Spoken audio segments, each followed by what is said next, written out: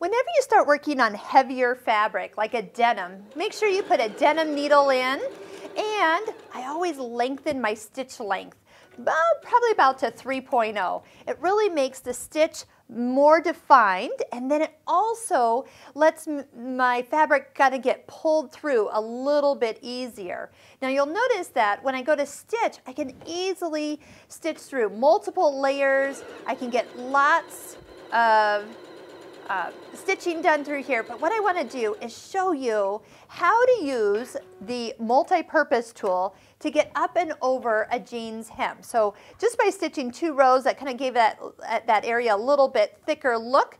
Now, as I turn this up, what I'm going to do is, it's very common, people want to stitch from this side of the jeans. But keep in mind that when they say top stitching, it's because top stitching actually does look better from the Ta-da, top. All right, so longer stitch length. And that's so when I get up to this thicker area, I'm not having to push it through. The machine will actually take it through for me. The other thing that I'm going to do is set the needle to stop in the down position. Now when I get to the down position, honestly I could probably just go right up and over this, no problem.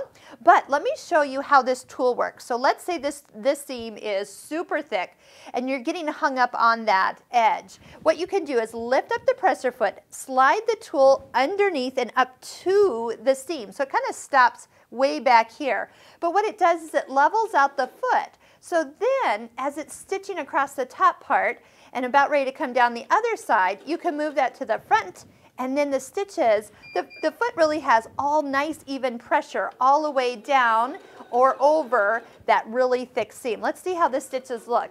So what you're going to notice is if you've ever had where you have little tiny stitches coming up to that or long stitches as you come off of it. Now you have perfect even stitches all the way down, no matter if you're going up or over. Use this tool. Now you've noticed that on one side, I use the thinner side on this one, but on the other side here, it's thicker. So if you really had a super thick seam, uh, you can decide which side to lift with it as it comes over the top and then catch it as it comes over the front side of that seam. It really makes life easy. Remember, the key is having the IDT engaged, lengthening and lengthening out your stitch length.